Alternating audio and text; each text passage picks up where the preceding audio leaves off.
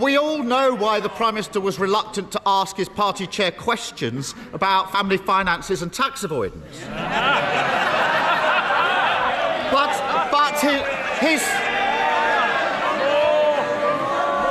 his failure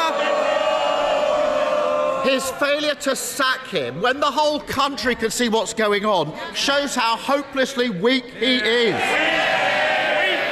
A Prime Minister overseeing chaos, overwhelmed at every turn. He can't say when ambulances will get to heart attack victims again. He can't say when the prison system will keep streets safe again.